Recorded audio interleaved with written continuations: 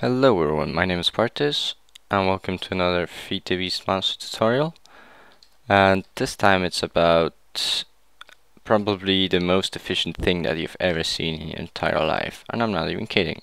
So let's get into it, how it works. So we have these lily pads of fertility here and we all know these increase the speed at which plants grow. So with this watering can it increases the speed even more. So just press right click here on this middle one and you see how fast crops are growing around me. And they get harvested automatically and they get replanted as well automatically. So that's pretty cool. Let me show to you how it works. So we have this planter down here which requires an upgrade of tin and some seeds. These don't have to be diamond seeds just for showing purposes to make things look nice. And yeah that's that then we have this harvester here also with a tin upgrade. And then there's a chest behind it and then we pull out of the chest. Here down here you can see that I have a pneumatic servo installed here and I installed the whitelist for diamond seeds.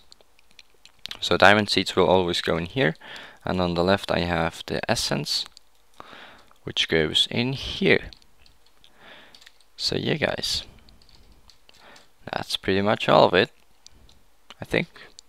And yeah just to show you if you don't have like enough essence you can break like the leaves you find sometimes or the grass you find sometimes like the let me show it to you the grass.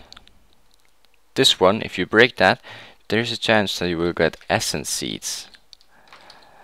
Oops essence seeds seed so let me just get okay an infinite amount of them so we can plant them here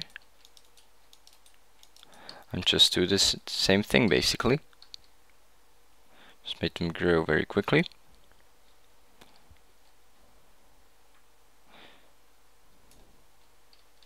So yeah, and we go in here. They shouldn't get pulled out because they have nowhere to go. But as you can see, that's a very nice way of getting essence dust. So yeah guys, I hope you enjoyed this short little tutorial. Um, make sure to leave a rating and subscribe for more.